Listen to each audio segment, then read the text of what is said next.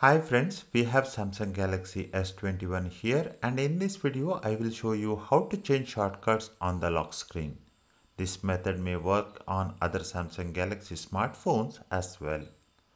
Out of the box we get dialer and camera shortcuts on the lock screen. We can change it to any app that you want. All you need to do is go to settings, lock screen. Here tap on shortcuts. If you don't want any shortcuts on the lock screen, you can disable this or change the app assigned to the left shortcut or right shortcut.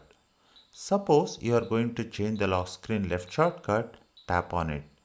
You will get the screen with two segments of apps. The app that will open without unlocking the phone and the apps will open after unlocking the phone.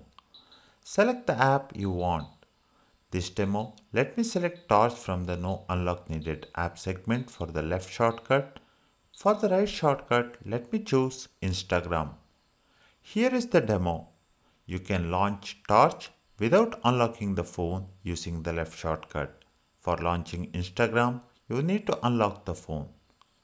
That's it for this video on how to change lock screen shortcuts on Samsung Galaxy smartphones. Thank you for watching this video. Please hit the like button if you find this video helpful.